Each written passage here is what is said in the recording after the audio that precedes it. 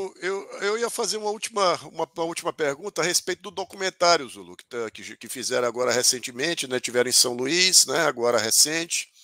É, o pessoal da produtora Canal Azul, né? Que é ligado ao, ao canal Combate, né? Esteve em São Luís filmando o teu documentário, coletando, acho que, acho que já está, em grande parte, já o documentário já já filmado, né? Acho que eles vão devem pegar alguma coisa no eixo Rio São Paulo. E eu queria que tu falasse um pouquinho aí do documentário, que, como é que foi tua experiência, né, para falar da, esse documentário que fala sobre a tua vida.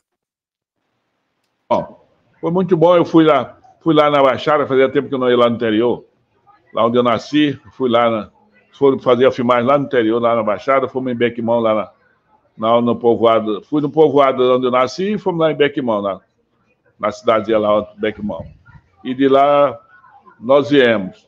Ficou bem lá, eu cheguei lá com os meus amigos de infância, uns que estavam comigo, já estão tudo, tudo velho, já estão tudo de idade, já parado.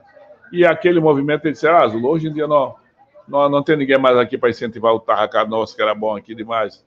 E agora ninguém mais tarraca aqui agora, assim, não. Já tem os outros, já estão, os, do teu tempo, estão tudo velho, já tudo parado e tal.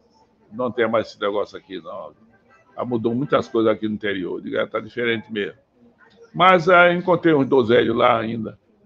Tem dois lá que estão de idade, Chico Cacetão, Zé Pisão. Estive falando com eles, conversando, abraçando. Olha, todo mundo me abraçou lá, me cumprimentaram. Ah, é onde eu nasci lá, onde meu amigo está enterrado lá, onde eu nasci lá. Ali minha terra, onde eu me criei.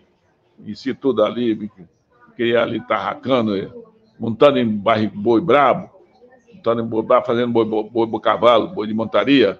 Aí tudo isso aí o pessoal filmaram. Saiu na filmagem, falei, comentei tudo isso aí como eu era lá no interior, a criação. Bacana, amizade muito grande, tinha muitos amigos. Porque o nosso Tarracá não fazia inimigo, não, era só amigo, eu construía amigo, amigo. Terminar Tarracá, terminar de sair se abraçar, é bem que luta, é bem que luta no ringue hoje em dia. A luta no ringue terminou, dentro do ringue é adversário, lá fora do ringue é amigo. É um cidadão. E aí foi bacana demais a filmagem, foi bacana. Eu recordei muitas coisas, muito bacana. Muito bacana.